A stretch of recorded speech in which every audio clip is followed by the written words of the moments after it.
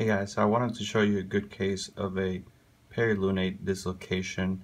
Perilunate dislocations usually result in a dorsal displacement of the capitate. So this is a dorsal perilunate dislocation on the left. This is a patient with a motorcycle accident. And then on the right, the same patient had a lunate dislocation in which you see the lunate displaced anteriorly and you also see the scaphoid been displaced. Let me show you here. So that's a lunate here, and that's a scaphoid. And notice that they're displaced anteriorly. The most common injuries in, in high velocity are either lunate or perilunate dislocation. And the trick for this is seeing if the lunate is articulating with the radius. Let's go back to our other one.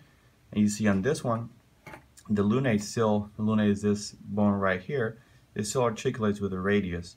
So this one, and you see the radius here. So this one is perilunate dislocation because the articulation is somewhat intact. It's not going to be perfect, but it's somewhat intact.